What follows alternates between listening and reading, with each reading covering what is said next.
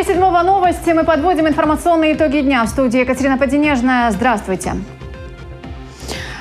Даже непродолжительный дождь сумел подтопить некоторые улицы и районы. Сильный ливень со шквалистым ветром прошел по всему городу. Досталось проспекту Шевченко, некоторым улицам на Молдаванке, а также частично Пушкинской, Балковской, Бреуса, Говорова и Филатова. А в доме Гоголя из-за дождя обвалился потолок в большом зале. Затопленный подвал, первый и второй этажи. Местные говорят, вода хлестала ручьями. Никто из чиновников и коммунальщиков так и не приехал. Детальный сюжет смотрите завтра в выпусках новостей.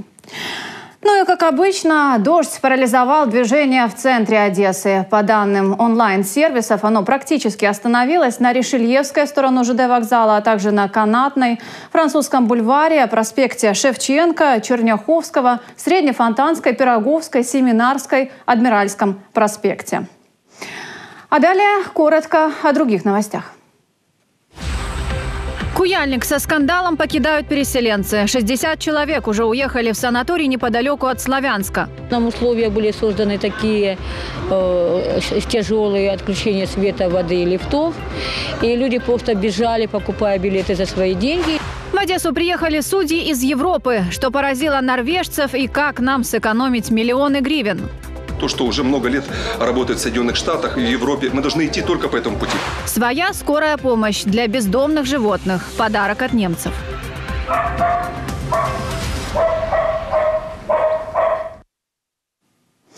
Полсотни переселенцев покинули санаторий «Куяльник». Уехали за свой счет в другую здравницу «Святые горы» недалеко от Славянска. Люди не дождались 15 октября, когда им должны были официально помочь с переездом областные власти. В облгосадминистрации называют отъезд искусственно созданной политической манипуляцией. Они приехали сюда из Макеевки, Попасной и других оставшихся под обстрелом территорий. У кого-то проблемы с опорно-двигательным аппаратом, у кого-то со зрением. Люди сейчас живут без электроэнергии, свет включили только к приходу журналистов. В их временном жилье нет тепла, только четыре кухни на 15 этажей. И то разрешают лишь греть воду в чайнике. Мол, за коммунальные услуги надо платить. Холодильник позволяют использовать только для инсулинозависимых. Хранить там продукты нельзя. Нам условия были созданы такие э, тяжелые отключения света, воды и лифтов. И люди просто бежали, покупая билеты за свои деньги. Когда мы вчера просили, были обесточены, дети до обеда были голодные, они сказали, ваши, ваши дети имеют право только э, чайником пользоваться. Все. Если мы даже увидим, что переноска протянута в вашу комнату, мы автоматически выключаем свет. Лифты включают очень редко. Колясочники не могут спускаться на первые этажи так часто, как хотелось бы. Прозвучала фраза о том, что ну, э, пусть ночуют под мостом. То есть я не знаю, кто это сказал, но как бы фраза прозвучала, и я ее услышала. То есть рисковать э, и ночевать под мостом я не хочу. У меня разрушены суставы, и я могу вставать, но, к сожалению, ходить я э, не могу. То есть на самом деле люди, которые приехали, они вообще не вставали, они заходили сюда на руках в туалет. В дирекции подтверждают, что условия в санатории буквально на выживание. Подчеркивают, здание в аварийном состоянии, есть предписание ГСЧС. Корпус эксплуатировать очень опасно. Лифты могут рухнуть в любой момент. Помещение холодно. Нету отопления и не предвидится даже, чтобы на зиму было бы отопление. У нас экономически такой возможности нет уже. Что касается питания? Нет, мы их не кормим, они сами кто-то не может выехать по состоянию здоровья, им нужна больница. Направляют борщи, направляют в Святогорск. Но дело в том, что я, например, я беременная девушка, как вот заметно, да? Мне нужна больница. Я в борщах, там, там нет ни больницы, ничего нет. Я на данный момент работаю. Работаю до ноября месяца. У меня в ноябре месяце декрет. Я не могу никуда вообще, реально. У меня нету в комнате ни света, ничего. Нуждаюсь ну, постоянно в присмотре врачей. Там, ну, у меня с опорно-двигательным аппаратом проблема. В санатории «Святые горы» якобы благоприятные условия для проживания, свет и тепло, но там пока не окончен ремонт. В облгосадминистрации считают скорый выезд переселенцев из Куяльника политической манипуляцией. Сегодня часть людей все-таки приехала, 50 человек. Их в авральном порядке расселяют по санаториям. То есть, в принципе, наши прогнозы сбылись о том, что, к сожалению, люди оказались в который раз заложниками ситуации, чьих-то политических игр, просто и манипуляций. В Куяльнике пока осталось около 150 человек. В планах областных чиновников расселить их еще по четырем точкам. Село Струмок Татарбунарского района – это для мам с детьми, Борщи Подольского района – в здание бывшей школы-интерната и в гериатрические дома-интернаты на Паустовского 2 и в село Мирнополье Арцизского района. Более полный сюжет смотрите в итоговом выпуске новостей. Мария Сапкалова, Евгений Руденко, Седьмой канал. Одесской области прозвучали взрывы. Этой ночью неизвестные бросили две боевые гранаты F1 в дом Николая Карапетрова. Мужчина руководит сельхозпредприятием в Болградском районе. Одна граната взорвалась во дворе, из-за чего загорелась машина Mitsubishi L200. Вторая влетела в окно детской комнаты. В это время там находились двое детей. Чудом их не задело осколками. Но в комнате разбиты вся стена и мебель. Карапетровы связывают нападение с бизнесом. Говорят, так поработали рейдеры.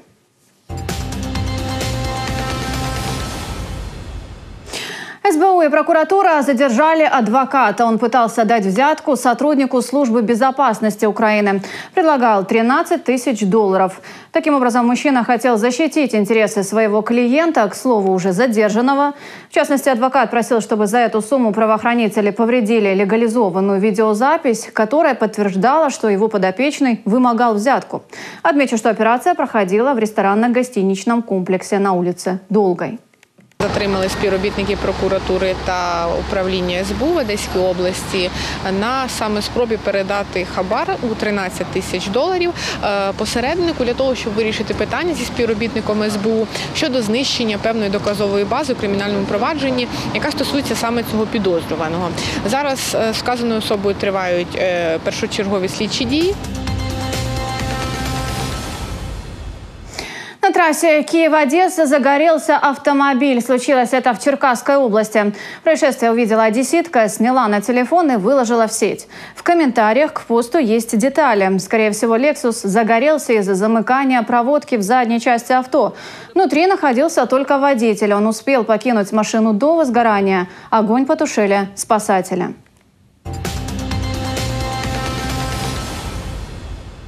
В Одессу из катерного похода вернулись курсанты факультета военно-морских сил. На протяжении 10 дней они проходили штурманскую практику в открытом море, а также посетили Академии Румынии и Болгарии. Встречала их Анастасия Кожушка.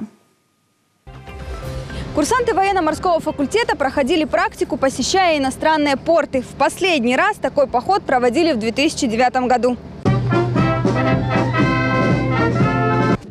С оркестром, караваем и под дождем. Так встречают третьекурсников морской академии с 10-дневного обучения. Оно проходило в открытом море.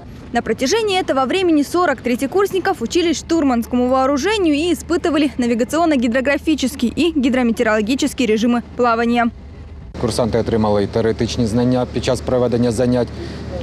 Е, Офіцери походного штабу з курсантами проводили заняття кожен за своїм напрямком і по медичній підготовці, і по боротьбі за живучість, і по е, будові корабля. А також курсанти отримали практичні навики під час несення вахти Обучение проходило в экстремальных погодных условиях. Море курсантов встретило штормом. Никто не растерялся. Все ребята проявили себя достойно. Мы впервые побывали в таких вот, ну, в передрягах, например, в, ш- ну, в небольшой шторм попали, в ураган, в ураганный ветер, э, попробовали, что такое качка сильная. Ну и, в общем-то, на, на основе этого мы уже сделали свои выводы. Практика проходила на двух катерах «Сокаль» и «Смила». Также курсанты посетили военно-морские академии Румынии и Болгарии. В следующем году такой поход планируют повторить. Анастасия Кожушка, Алексей Барановский, Седьмой канал. Как сэкономить миллионы гривен, тонны бумаги и месяцы бюрократического простоя в судах? В Одессе служители Фемида из разных стран обсудили проблематику украинской технической базы и пути ее модернизации. На круглом столе побывал Игорь Хмурый. Мероприятие прошло в Киевском районном суде Одессы. В состав делегации зарубежных гостей вошли представители Норвегии, а также Боснии и Герцеговины. Отечественные судьи рассказали им о насущных проблемах. В частности, норвежцев поразило, что в 21 веке далеко не все украинцы имеют электронную почту, а бумажные письма могут курсировать по области вплоть до двух недель. Это по-прежнему только начало процесса. Остается посмотреть, какое влияние будет оказано на него. Я уверен, уже стал более эффективным процесс экономии затрат. И менеджеры здесь имеют в запасе прогрессивные и дорогостоящие идеи. Это даст свой результат в будущем. Речь идет о новой системе ЕКОРД. Она уже заменила часть бумажной волокиты, ускорив судебный процесс. Помимо этого, всего одна программа экономит налогоплательщикам сотни тысяч гривен на почтовых пересылках. Таким образом, по словам председателя Киевского райсуда Сергея Чванкина, внедрение ЕКОРТа и оснащение необходимым оборудованием окупается уже через год использования системы. Вы часто слышали за этим столом слова о том, что экономятся деньги. Самое главное – экономится время. И если человек может, не выходя со своего офиса, не отрываясь от работы, воспользоваться электронным судом и получить долгожданный результат, то почему бы это не делать? То, что уже много лет работает в Соединенных Штатах и в Европе, мы должны идти только по этому пути, по европейскому пути. Оказалось, что в отечественной судебной системе время порой играет самую главную роль. Ведь бумажная волокита может раз за разом нивелировать весь процесс, возвращая его в начальную точку. В чем была основная проблема? В том, что если назначается экспертиза, это уже можно сразу говорить, что нарушены сроки рассмотрения дела. Удивительно, но небольшая Босния и Герцеговина, которая буквально 10 лет назад пережила жестокий военный конфликт, теперь приезжает в Украину, чтобы помочь внедрить новые технологии. Как пояснил представитель балканской страны, именно межэтническая война во многом помогла ему совершенствовать суды. Судебная реформа в Боснии и Герцеговине, которая продолжается с 2001 года, это вклад в создание отношений доверия. Это связующее звено между разными нациями в Боснии и Герцеговине. Сервис, который мы предлагаем гражданам, на пути к восстановлению доверия в обществе. Квалифицированное рассмотрение уголовных дел военного времени, которые касаются периода 1995 годов, это один из ключей для восстановления доверия между нациями.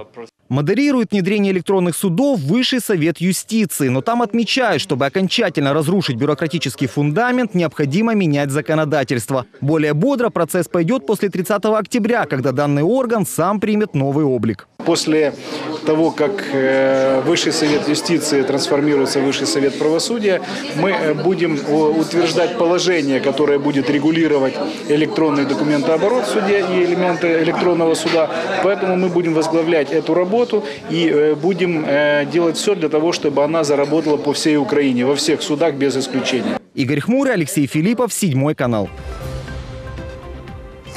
Одесская учительница стала рекордсменом Украины. Галина Орлова дольше всех работает в одном учебном заведении. Почти 59 лет женщина преподает английский в школе-интернате номер два. И вот сегодня ее имя внесли в Книгу рекордов Украины. Лучшим работникам образования вручают грамоты, цветы, подарки и нагрудные знаки. Таких здесь 12 человек. Галине Абрамовне сегодня чрезвычайное внимание. Она дольше всех в Украине проработала в одном учебном заведении. 58 лет и 10 месяцев женщина преподает английский во второй школе-интернате, за что получила сертификат и строчки в книге рекордов Украины. Несмотря на ни на что, я не представляю себе другой профессии. И я вам честно скажу, я всегда говорю, это мой девиз. Вечно буду жить в интернате, вечно буду молодой. Дай Бог, дай Бог, чтобы я отметила 60 лет. В свои 85 из профессии уходить и не думает. Говорит, учителем хотела быть всегда. И хоть профессия, по словам женщины, сложная и порой неблагодарная, от этого любовь к детям не уменьшается. Я хочу, чтобы наши дети были счастливы, чтобы им интересно было учиться, чтобы они с радостью говорили «Ура, английский!», а не «О, опять английский!». До Галины Абрамовны рекордсменом считался харьковчанин. В инженерно-педагогической академии он проработал 53 года. Успех э, конкретно Галины в крепости нервов и, собственно, физиологическая, наверное, выносливость какой-то э, более высокая, чем в среднем по Украине. И это радует, и за это берет зависть. Сегодня зал русского театра переполнен зрителями. На сцене целая концертная программа. После выступления каждый оставляет пожелание любимому преподавателю. Я ей пожелаю, чтобы она нас всех выдерживала, чтобы мы все хорошо учились. И поздравлю ее с Днем Учителя. Я желаю счастья, здоровья, любви, чтобы никогда не болели и чтобы э, всегда радовались ученикам. Чтобы у них хорошие были ученики, чтобы они были послушными. Мы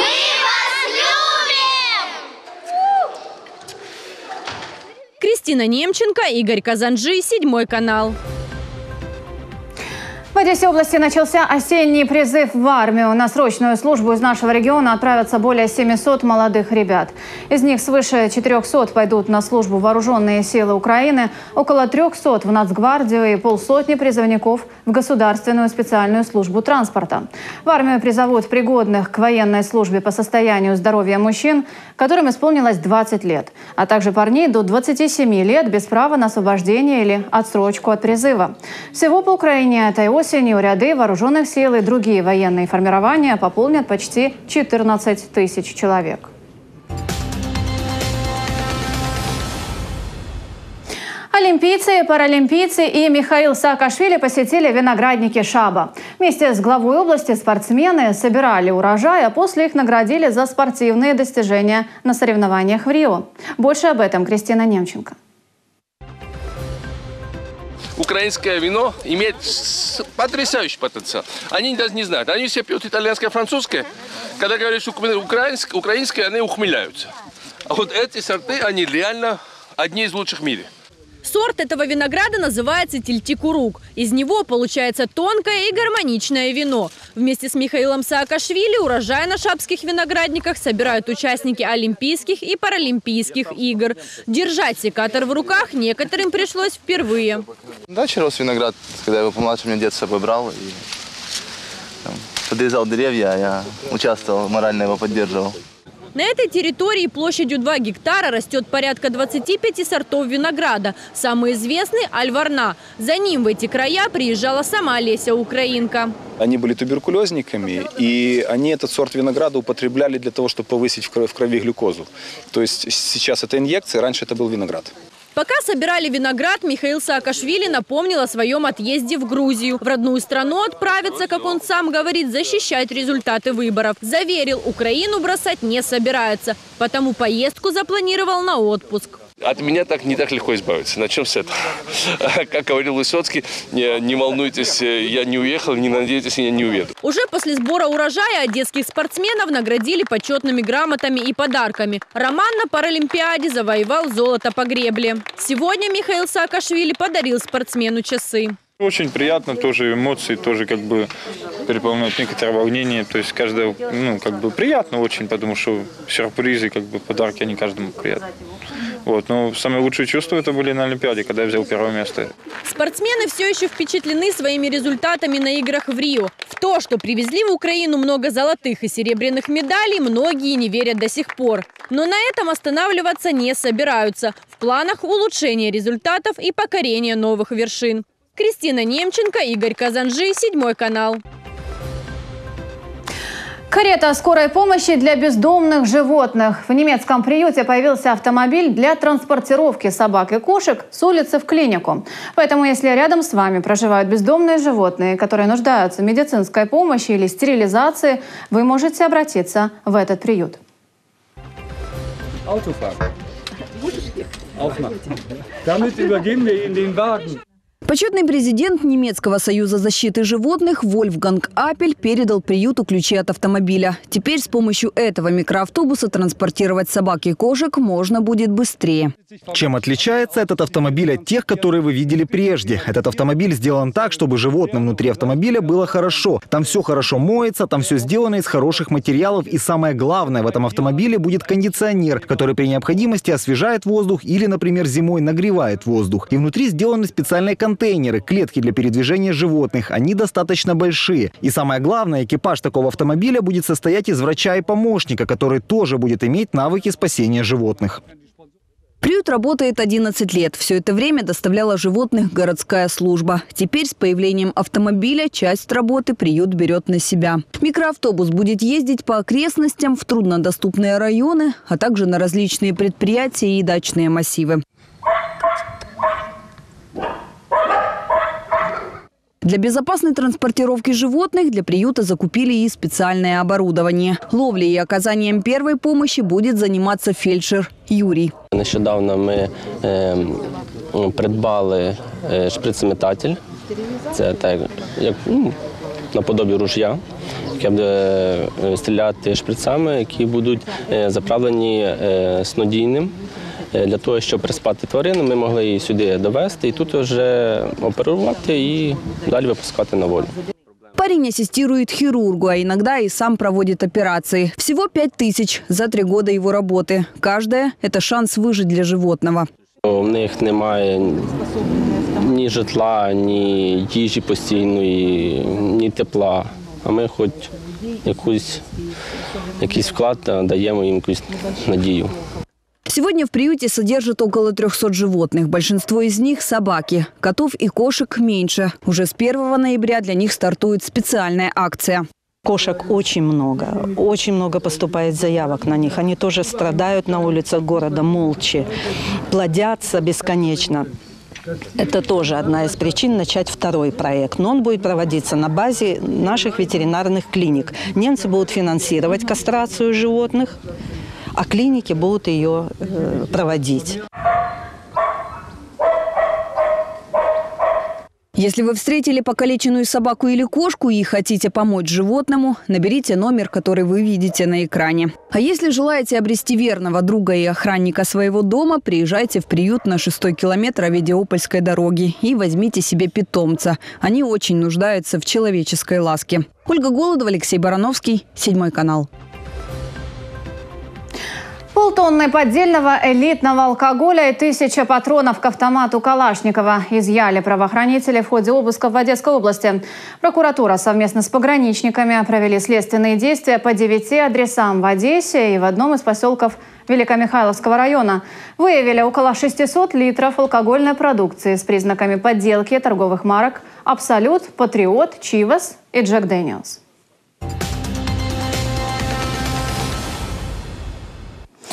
Первый за осень и второй за год. В акваторию Одесского порта зашел долгожданный лайнер под флагом Багамских островов. Сегодня утром он уже покинул Одессу, однако нам удалось пообщаться с пассажирами судна.